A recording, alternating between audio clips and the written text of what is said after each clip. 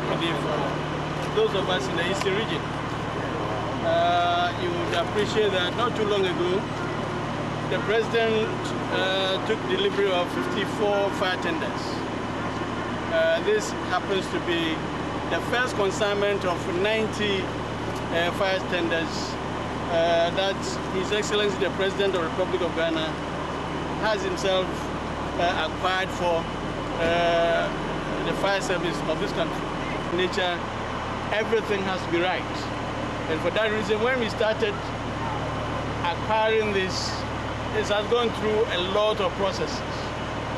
I remember the latter part of last year when I was the Deputy Minister for the Interior, I traveled to the United States of America, specifically to Florida, where these equipments were produced. Uh, I was in the factory for a whole day, and we looked at every aspect of it. Uh, the company